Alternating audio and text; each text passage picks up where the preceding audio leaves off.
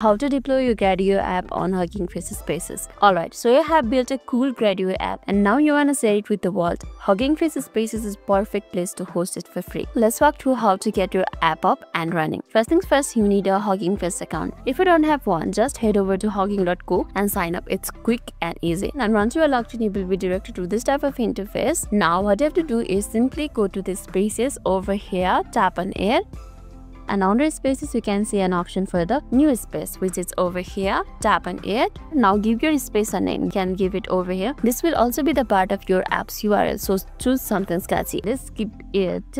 Moody and give short description about your space. Let it be mood tracking calendar or what your space is about. And you can also select a license from here.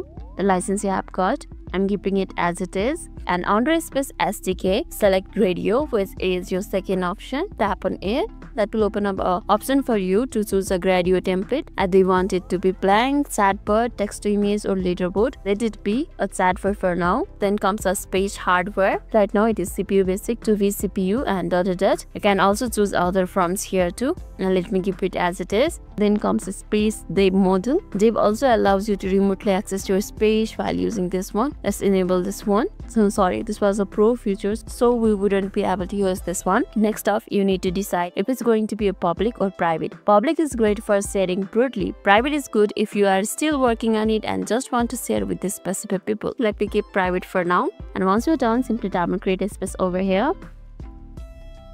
that's pretty much of it. Now Hugging Face will automatically build and deploy your Gradio app. Give it a few minutes and you will have your own Gradio app running on Hugging Face ready to be shared. And this is how it look like. Now you can edit it add the code you want and make it your own. Once done, simply grab the URL and show it up. So that was an whole idea on how to deploy your Gradio app on Hugging Face Spaces. That's all for today's video and if this video made your day a little bit easier, don't forget to like and subscribe for more amazing tips Thanks for watching and see you in the next video.